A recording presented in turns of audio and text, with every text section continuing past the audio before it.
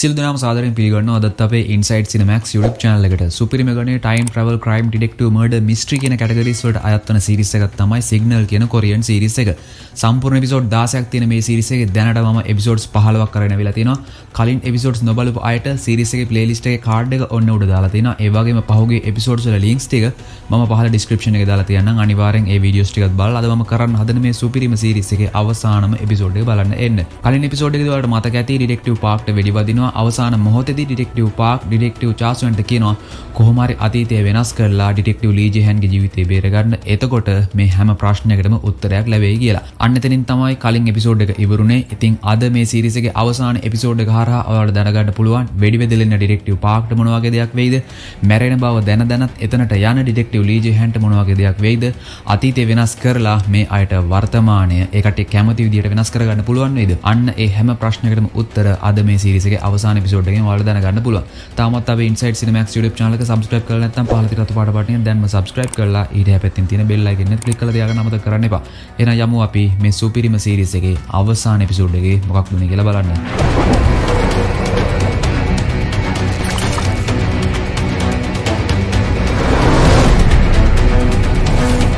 ඔන්න දෙපිසෝඩ් පටන්ගත්ම පෙන්න්න අතීත එම නැත්තන් දෙද අවුද්ධ වෙන සිද ටිෙක්ට ලීජහන් මේ වෙලාද ගමනක් යන්න හදන්න. එයා යන්න කොහට කියලා තවටික වෙලාකින් වාට තේර ඩෙක්ට ලීජහන්ට මේ වෙලාද චාසයන් හම්බෙනවා ඩෙක්ට ලීජහන් ඉට පස චාසුවන්ට කියනවා මට වැඩබගයක් තින ම ඒ වැඩටික ඉවර කරලා එන්නම් කියලා. ඔන්න අතරතුර අපිට පෙන්නවා කැප්ටන් බොම්ජු මේ වෙද්දි සෑහන කලබලයි එකට. හේතුව තමයි ඔයාට මතක ඇති අර රතුපාට ස්කාෆික සම්බන්ධ රිපෝට් එකක් මේ වෙද්දි ඩෙක්ට ලීජහන් ලඟ තිනවා ඩෙක්ට ලීජහන් ලඟ තිබුණ ඒ රිපෝට් එක බොම්ජු කලින්ම ගත්තා.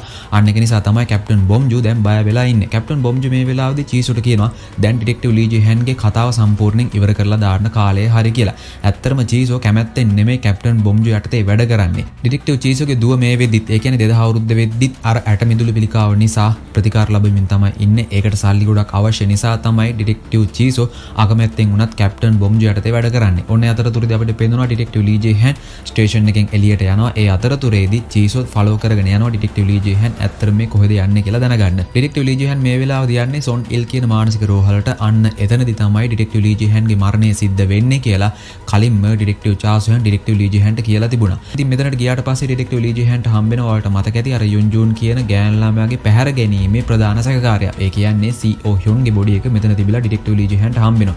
ඩිටෙක්ටිව් ලීජිහන් මේ වෙලාවේදී වෝකි ටෝකි එක හරහා ඩිටෙක්ටිව් පාක්ට කතා කරන්න තමයි උත්සාහ කරන්නේ. ඒත් එක්කම අපිට පේනවා ඩිටෙක්ටිව් ලීජිහන්ට කෙනෙක් ඇවිල්ලා මෙතනදී පහර දෙනවා. ඔයාලට මතක ඇති පළවෙනි එපිසෝඩ් එකේදීත් මේ සිද්ධිය ඒ හා සමානවම සිද්ධ වුණා. ඉතින් ඒ අතරතුරදී අපිට පෙන්වනවා වර්තමානයේ වෙන සිද්ධියක් ඩිටෙක්ටිව් පාක්ට වෙඩි වෙදිලා දැන් එයා බොහොම අසාධ්‍ය තත්ත්වයේ ඉන්නේ ඩිටෙක්ටිව් චාසුයන් එයාගේ ළඟින්ම ඉන්නවා. ඩිටෙක්ටිව් චාසුයන් ඊට පස්සේ ඇම්බියුලන්ස් එකට කතා කරනවා. ඇම්බියුලන්ස් එක ඇවිල්ලා ඊට පස්සේ අසාධ්‍ය තත්ත්වයේ ඉන්න ඩිටෙක්ටිව් පාක්ව දාගෙන එතන යනවා. ඕනේ අතරතුරදී අපිට පෙන්වනවා ආපහු 2000 අවුරුද්ද වෙන සිද්ධියක්. ඩිටෙක්ටිව් ලීජි හැන්ට පිටිපස්සෙන් ඇවිල්ලා පහර දීලා තියෙන චීසොම තමයි. චීසෝ මේ විදි ඩිටෙක්ටිව් ලීජි හැන්ව වෙනම තැනකට අරගෙන ගිහින් එයාව ගැට ගහලා දාලා ඉන්නේ. ඉතින් මේ වෙලාවේදී චීසෝ ඩිටෙක්ටිව් ලීජි හැන්ගෙන් අහන්නේ අර රතු පාට ස්කාෆ් එක දැන්ම අපිට දෙන්න එහෙම දුන්නොත් එහෙම ඔයාට කිසිම ප්‍රශ්නයක් නැතුව මෙතනින් එළියට යන්න පුළුවන් කියලා. ඊට පස්සේ ඩිටෙක්ටිව් ලීජි හැන් චීසොට කියනවා තමුසෙත් එහෙනම් බොම්බ් යට නේද වැඩ කරන්නේ. ඇත්තට මේ රතු පාට ස්කාෆ් එක එන්ජින් අඩුවේ විතරක් නෙමෙයි ඒකේ තවත් අපරාධයක සාක්ෂි තියෙනවා කියලා. ඉතින් චීසොට හිතා ගන්න බෑ ඒ මොකක්ද කියලා. ඉතින් මේ වෙලාවේදී ඩිටෙක්ටිව් ලීජි හැන් චීසොට කියනවා ඒ රතු පාට ස්කාෆ් එකෙන් ඔප්පු කරන්න පුළුවන් සන්නූගේ මරණය සීදි විහාන කර ගැනීමක් නෙමෙයි. එයාව මරලා දාලා තියෙන්නේත් බොම්ජුම තමයි කියලා. ඉතින් ඒක ඇහුවට පස්සේ චීසොට හිතා ගන්නත් බෑ. චීසොත් මේ වෙනකන් හිතාගෙන හිටියේ පාක්ගේ අයියා එහෙම නැත්නම් සන්නූගේ මරණය සේදි විහානි කර ගැනීමක් කියලා. නමුත් දැන් ඩිටෙක්ටිව් ලී ජෙහන් කියද්දි තමයි චීසෝ දැනගන්නේ සන්නුව මරලා දාලා තියෙන්නේත් බොම්ජුම තමයි කියලා. ඔන්න ඒ අතරතුරදී අපිට පෙන්වනවා ඩිටෙක්ටිව් ලී ජෙහන්ට මේ රතු පාට ස්කාෆ් එක ලැබුණේ කොහොමද කියලා. ඔයාලට මතක ඇති මේ රතු පාට ස්කාෆ් එක කලින් තිබුණේ සන්නූ ළඟ සන්නුව මරලා තමයි ඒක කැප්ටන් බොම්ජු අතට ගත්තේ. කැප්ටන් බොම්ජු ගත්ත ඒ රතු පාට ස්කාෆ් එක ඇත්තටම ඩිටෙක්ටිව් ලී ජෙහන්ට හම්බ වුණේ කොහොමද? අන්න ඒක තමයි මේ වෙලාවේදී අපිට පෙන්වන්නේ. ඩිටෙක්ටිව් ලී ජෙහන්ට සන්නූ කතා කරලා කිව්වා එන්ජින් ඔඩුවේ ප්‍රධාන සාක්ෂියක් විදියට හිව්සෙන් ඒ වෙලාවට දාගෙන හිටපු රතු පාට ස්කාෆ් එක එයාගේ ළඟ තියෙනවා ඒක ගන්න එන්න කියලා. නමුත් ඩිටෙක්ටිව් ලීජි හැන්ට යන්න උනේ නැහැනේ. ඉතින් මේ විදි ඩිටෙක්ටිව් ලීජි හැන්ට සැක සැකයක් ඇතිවෙලා තියෙනවා කැප්ටන් බොම්ජු අනිවාර්යෙන් සන්නුගේ මරණයට කොහෙන් හරි සම්බන්ධ ඇති කියලා.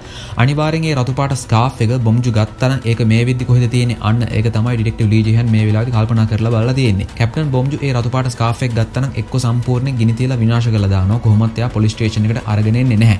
නමුත් ඔයාලට මතක ඇති සන්නුගේ මරණය ගැන දැනගත්තට පස්සේ ඩිටෙක්ටිව් ලී ජෙහන්ට තරහ ගිහින් එයා ගියා කැප්ටන් බොම්ජු හිටපු රූම් එකට. අන්න එතනට යද්දී කැප්ටන් බොම්ජුගේ අතේ තුවාලයක් නිසා එයා ප්ලාස්ටර් එකක් දාන ගමන් තමයි හිටියේ. ඊට අමතරව ඩිටෙක්ටිව් ලී ජෙහන් දැක්කා ඒ අතේ තුවාලෙට දාන්න ගෙනාපු බෙහෙත් අඩංගු බෑග් එකක් එතන තිබුණා. ඒ බෑග් එකේ ෆාමසි එක නමක් ගහලා තිබුණා.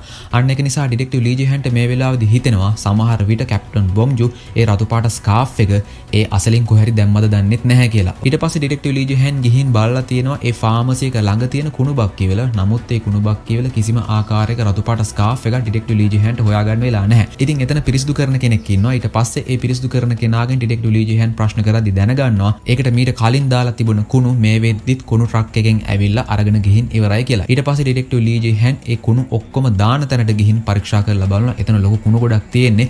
එතනවත් ඩිටෙක්ටිව් ලී ජෙහන්ට ඒ රතු පාට ස්කාෆ් එක හොයාගන්න වෙන්නේ නැහැ. නමුත් මෙතනදී වාසනාවකට වගේ ඩිටෙක්ටිව් ලී ජෙහන් දකිනවා ඒක කාන්තාවක් ඒ රතු පාට ස්කාෆ් එක කරේ දාගෙන ඉන්නවා. ඒ කාන්තාවත් මෙතනම තමයි වැඩ කරන්නේ. ඒ කාන්තාව දැකලා තියෙනවා පාවිච්චි කරන්න පුළුවන් වුණත් රතු පාට ස්කාෆ් එකක් කවුරුහරි විසි කරලා දාලා තියෙනවා කියලා. ඊට පස්සේ ඒ කාන්තාව රතු පාට ස්කාෆ් එක අරගෙන මේ වෙද්දි එයා කරට දාගෙන ඉන්නවා. ඊට පස්සේ ඩිටෙක්ටිව් ලී ජෙහන් ඒ කාන්තාවගෙන් ඒ රතු පාට ස්කාෆ් එක අරගෙන තියෙනවා. ඔන්න ඔහොමයි ඒ රතු පාට ස්කාෆ් එක ඩිටෙක්ටිව් ලී ජෙහන්ගේ අතට ඇවිල්ලා තියෙන්නේ. ඩිටෙක්ටිව් ලී ජෙහන් ඊට පස්සේ ඒ ස්කාෆ් එක දාලා තියෙනවා NIFS එකට. ඒ කියන්නේ ජාතික අධිකරණ වෛද්‍ය ඒකකයට. ඒක තියෙන නිව්යෝක් වල. එතනට දැම්මට පස්සේ ඩිටෙක්ටිව් ලී ජෙහන්ට ඒකේ රිපෝට් එක ඇවිල්ලා තියෙනවා. ඒ රිපෝට් එකේ සඳහන් වෙලා තියෙනවා ඒ රතු පාට ස්කාෆ් එකත් එක්ක ඩිටෙක්ටිව් ලී ජෙහන් යාපු ජැන්ටේජින්ගේ DNA එක්ක ඒ රතු පාට ස්කාෆ් එකේ තියෙන සුක්‍රාණු වල DNA ගැලපෙනවා කියලා. ඊට අමතරව ඒ ස්කාෆ් එකේ සන්නූගෙත් ලේ අන්තර්ගත වෙලා තියෙනවා කියලා ඒ රිපෝට්ස් වල සඳහන් වෙනවා. ඊට අමතරව ඒකේ සඳහන් වෙලා තියෙනවා තවත් කෙනෙක්ගේ ලේ සාම්පල් වගේක් ඒ රතු පාට ස්කාෆ් එකේ තියෙනවා කියලා. ඉතින් ඒක දැක්කට පස්සේ ඩිටෙක්ටිව් ලී ජෙහන්ට සැකයක් ඇවිල්ලා තියෙනවා. අර වෙලාවේදී කැප්ටන් බොම්ජුගේ අත කැවිලා තිබුණා. සමහර විට කැප්ටන් බොම්ජුගේ ලේද දන්නෙත් නැහැ මේ රතු පාට ස්කාෆ් එකේ තියෙන්නේ කියලා.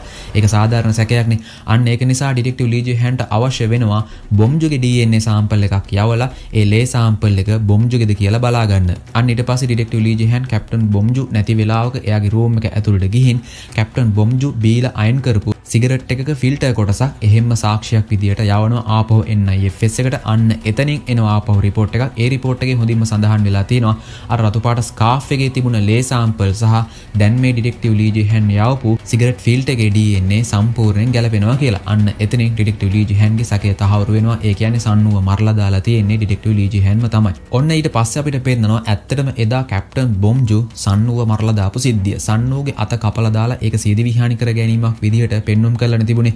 කැප්ටන් බොම්ජු ඊට පස්සේ ඒ සන්නුවගේ අත කපපු පිහිය එයාගේ අතින්ම තියන්න යද්දිත් ඇත්තටම ඒ වෙලාවේදී සන්නුවට පණ තිබිලා තියෙනවා. සන්නුවගේ අත එකපාරටම ගැස්සුණු නිසා ඒ පිහියෙන්ම බොම්ජුගේ අතත් කැපිලා තියෙනවා. බොම්ජු ඊට පස්සේ ඒකෙන් ආපු ලේ බිම වැටුනොත් එහෙම සැක හිතෙන නිසා අර රතු පාට ස්කාෆ් එකෙන්ම තමයි පිහදලා තියෙන්නේ. එයා කොහොමද දැන් රතු පාට ස්කාෆ් එක අරගෙන යනවනේ. අන්න ඊට පස්සේ තමයි කැප්ටන් බොම්ජු සන්නු මැරුණේ සියදි විහානි කර ගැනීමක් විදිහට ඒ පිහියත් එයාගේ අතින්ම තියලා එතනින් පිටත් වෙලා ඇවිල්ලා තියෙන්නේ. කැප්ටන් බොම්ජුගේ ඇඟිල්ලේ වුණ තුවාලය නිසා ඒකට බෙහෙත් ටිකක් ගන්න තමයි අර ෆාමසිකට ගිහින් තියෙන්නේ. අන්න එතනින්ම බොම්ජු රතු පාට ස්කාෆ් එක කුණු බක්කයකට දාලා තිනවා කොහොමත් ඒ කුණු සම්පූර්ණයෙන් අයින් වෙන බව බොම්ජු දැනගෙන හිටියා. නමුත් බොම්ජු ඒ වෙලාවේදී දැනගෙන හිටියේ නැහැ ඩිටෙක්ටිව් ලීජේ හැන් මේ හා සම්බන්ධයෙන් මෙතනටම හොයාගෙන එයි කියලා.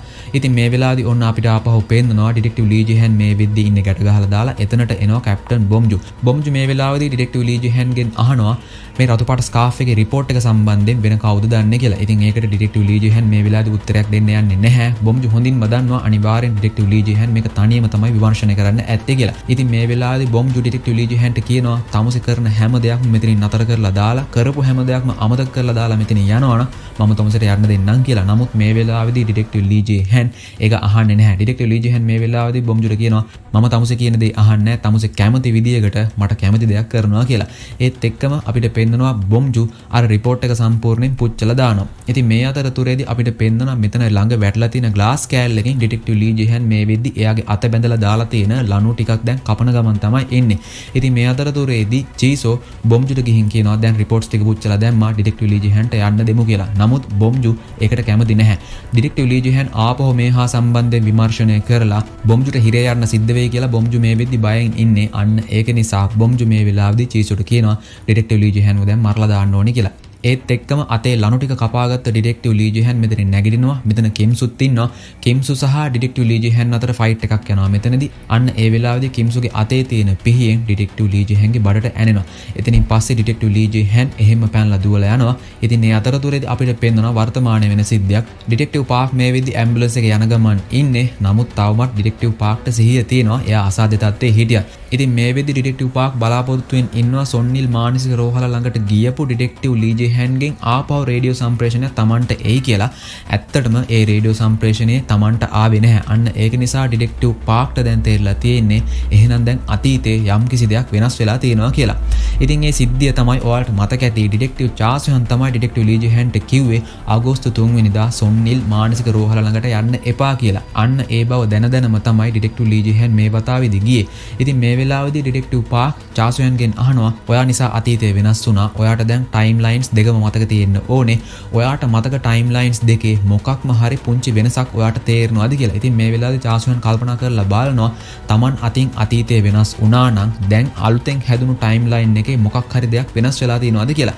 ඉතින් මේ වෙලාවේදී චාසුවන්ට එක දෙයක් මීටර වෙනවා. ඒක තමයි ඔයාලටත් මතක ඇති ඩිටෙක්ටිව් ලී ජෙහන් අවසාන වතාවට චාසුවන්ව හම්බෙලා කිව්වේ වීකෙන්ඩ් එක වෙනකම් මට කල් දෙන්න මම ඉක්මනට මේ ප්‍රශ්න විසඳ ගන්නම් කියලා. නමුත් අද එපිසෝඩ් එක පටන් ගද්දි මම කිව්වා ඩිටෙක්ටිව් ලී ජෙහන් මේ මානසික රෝහල ළඟට යන්න හදද්දි චාසුවන් හම්බ වුණා. අන්න එතනදී ඩිටෙක්ටිව් ලී ජෙහන් චාසුවන්ට කියලා තියෙනවා මේ වතාවේ නම් මම අනිවාර්යෙන් එනවා කියලා. අන්න ඒක තමයි ඩිටෙක්ටිව් චාසුවන්ට මේ වෙලාවේදී මේ ටයිම් ලයින්ස් දෙක අතර සිද්ධ වුණ වෙනස විදියට තේරෙන්නේ. ඒ කියන්නේ දැන් ඔයාලට තේරෙනවා ඇති මොකක් හරි සිද්ධියක් නිසා ඩිටෙක්ටිව් ලී ජෙහන් මේ වෙලාවේදී කලින් ටයිම් ලයින් එකේ කියපු නැති දෙයක් චාසුවන්ට කියලා ගිහින් තියෙනවා. අපි බලමු එහෙනම් ඇත්තටම ඒ හා සම්බන්ධයෙන් අතීතය කොහොමද වෙනස් වෙලා තියෙන්නේ සහ ඒ අතීතයේ සිද්ධ වුණු සිද්ධිය නිසා වර්තමානයේ මොන ආකාරයට වෙනස් වෙයිද කියලා තව ටික වෙලාවකින් ඔනිට පස් අපිට පෙන්වන අසාධ්‍ය තත්ත්වයේ ඉන්න ඩිටෙක්ටිව් පාක්ව අවසානයේදී හොස්පිටල් එකට අරගෙන යනවා. ඒ ડોක්ටර්ස්ලා මේ වෙලාවේදී සෑහෙන මහන්සි ගන්නවා ඩිටෙක්ටිව් පාක්ගේ ජීවිතය රැකගන්න. නමුත් මේ වෙලාවේදී මේ වෛද්‍යවරු අසාර්ථක වෙනවා. ඩිටෙක්ටිව් පාක්ව බේරගන්න වෙන්නේ නැහැ. එයා මේ හොස්පිටල් එකේදීම මැරෙනවා. ඔනිට පස් අපිට පෙන්වනවා 2000 අවුරුද්දේ වෙන සිද්ධියක් ඩිටෙක්ටිව් ලී ජෙහන් තනියම නෙමෙයි මෙතනට ඇවිල්ලා තියෙන්නේ. ඩිටෙක්ටිව් ලී ජෙහන් මෙතනින් පැනලා යනවා. කලින් ටයිම් ලයින් එක වගේම චීසෝ ඇවිල්ලා මේ වෙලාවේදී ඩිටෙක්ටිව් ලී ජෙහන්ට වෙඩි තියන්න තමයි උත්සාහ කරන්නේ.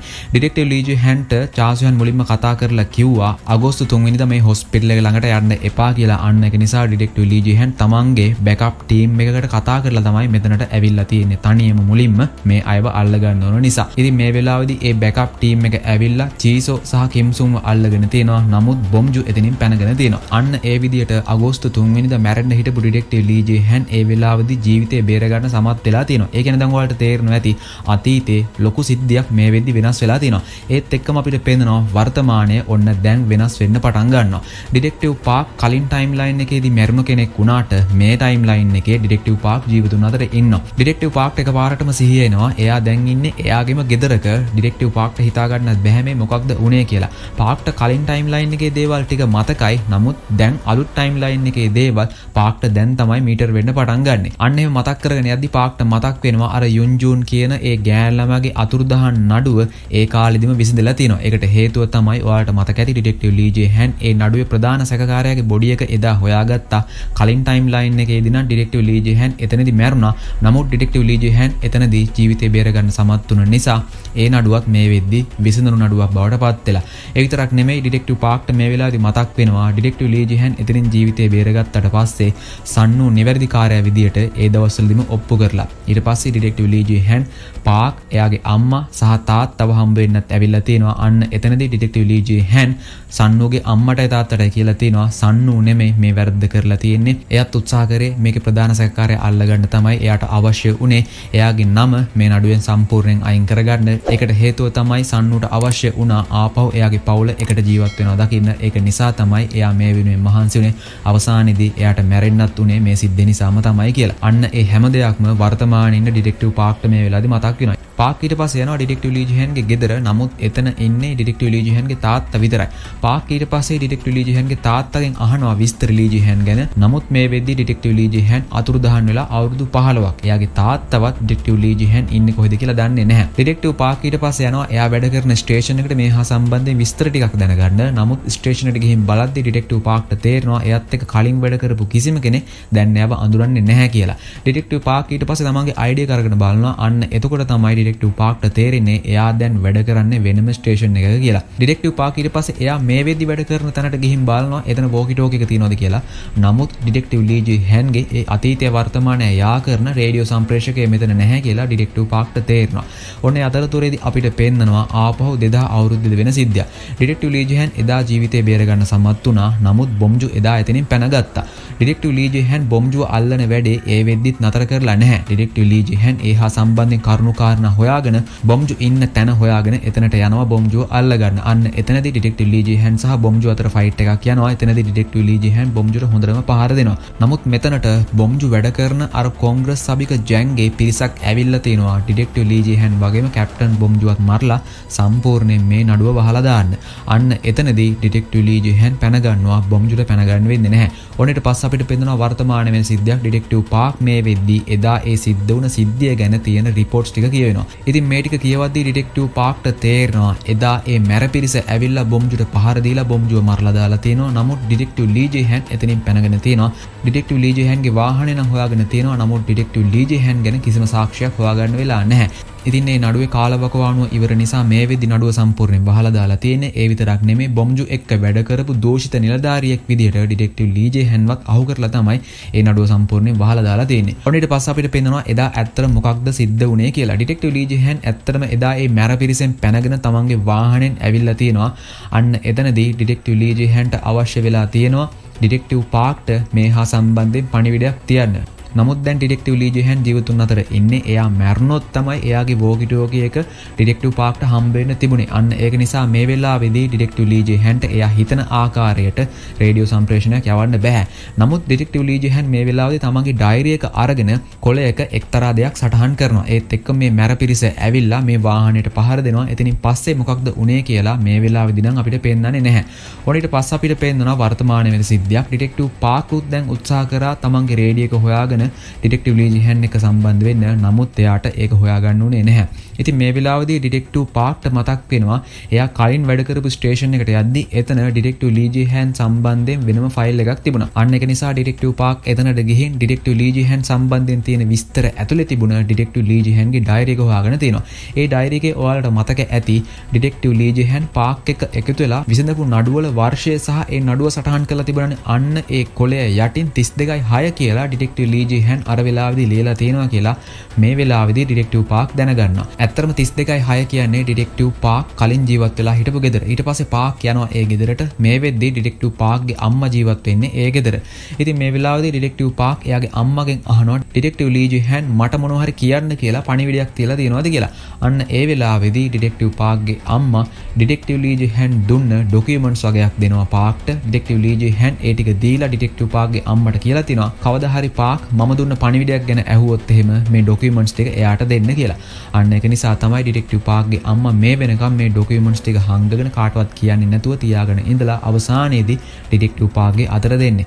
ඩිටෙක්ටිව් පාක්ගේ ඩොකියුමන්ට්ස් ටික බලද්දි එයාට තේරෙනවා ඩිටෙක්ටිව් ලීජේ hän තියපු වෙනම ලියුමක් මෙතන තියෙනවා. ඒ ලියුමේ සඳහන් වෙන්නේ ඩිටෙක්ටිව් ලීජේ හැන්ට රේඩියෝ සම්ප්‍රේෂකයක් හරහා ආපහු පණිවිඩයක් තියන්න බැරි නිසා තමයි එයා මේ විදියට ලියුමෙන් මේ හැම දෙයක්ම සටහන් කරලා තියෙන්නේ කියලා. ඉතින් මේ ලියුමත් එක්ක ඩිටෙක්ටිව් ලීජේ hän එකතු කරපු එයාට විසඳන්න බැරි වුණු නඩුවල හැම සාක්ෂියක්ම ඩිටෙක්ටිව් පාක්ට බාර දීලා ගිහින් තියෙනවා. ඔයාලට මතක ඇති අර අතුරුදහන් වුණු නිල් දියමන්ති මාලේ බොක්ස් එක ඇතුළේ තිබුණ ෆ්ලොපි ඩිස්ක් එක. අන්න ඒ ෆ්ලොපි ඩිස්ක් එකත් මේ ඩීටේල්ස් අතර තියෙනවා කියලා ඩිටෙක්ටිව් පාක්ට තේරෙනවා. ඉහලෙන් හිටපු අර ජැන් කියන කොංග්‍රස් සභිකතුමා වැරදිකාරයෙක් කියලා ඔප්පු කරන්න පුළුවන් විදිහේ සාක්ෂිත් මෙතන තියෙනවා කියලා ඩිටෙක්ටිව් පාක්ට තේරෙනවා. ඩිටෙක්ටිව් පාක් ඊට පස්සේ කොංග්‍රස් සභික ජැන් වැරදිකාරයෙක් කියලා ඔප්පු කරන්න පුළුවන් විදිහේ තියෙන හැම සාක්ෂියක්ම ඉන්ටර්නෙට් එක හරහා ලීක් කරනවා. එතනින් පස්සේ කොංග්‍රස් සභික ජැන්ට ලොකු ප්‍රශ්නයක් ඇති වෙනවා ඒ හා සම්බන්ධයෙන් දැන් ආපහු විමර්ශන කටයුතු ආරම්භ කරලා තියෙන්නේ. ඔනට පසපිට පෙන්නවා ඩිටෙක්ටව පාක් යනවා මේ ඩොකියමන්ට් සල ඩිටෙක්ටව ලීජ hän අලවල තිබුණ මුද්දරේ ගහලා තියෙන කොහෙන්ද කියලා බලන්න.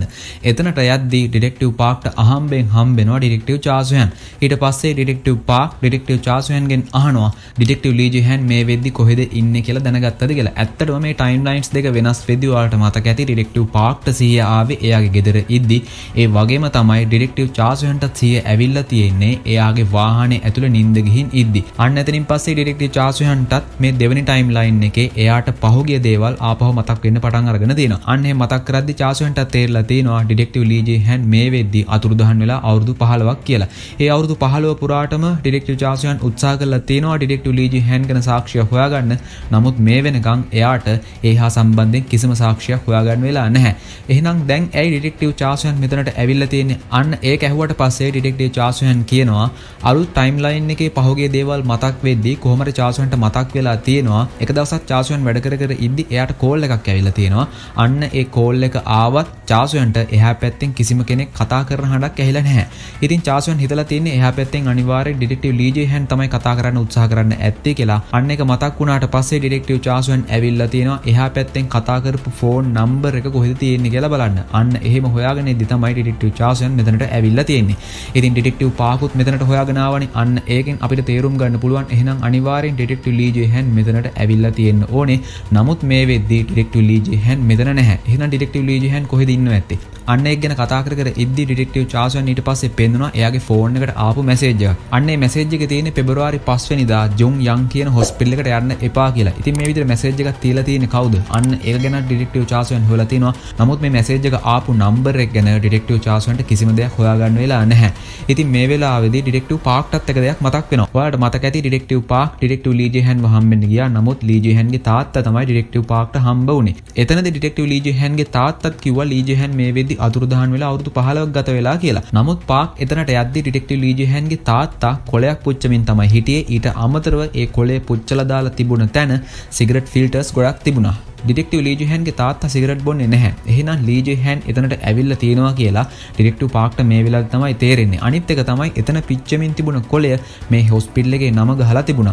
අන්න එක නිසා අපිට මේ වෙලා දිතේරනවා එහෙනම් ඩිරෙක්ටව ලීජහන්ගේ තාත්තත් මේ අයට බොරු තමයි කියන්නේ. සමහරවිට ලීජයහැන් ඒ හොස්පිල්ලගේ ඉන්නවත් දන්නෙත් නැහැ කියලා තමයි මේ වෙලාවදී ඩිරෙක්ටව පාක්ට සහ ඩිරෙක්ටව චාසුවන්ට තේරෙන්නේ. ඔනට පස්සේ මේ සිරිසගේ අවසාන එපිසෝඩ්ගේ අවසාන ටිකේදී අපිට පෙන්වන ඩිරෙක්ටව පාක් සහ ඩිරෙක්ටව චාසුවන් එකතු වෙලා යනවා මේ හොස්පිටල් ෆිල් එකට.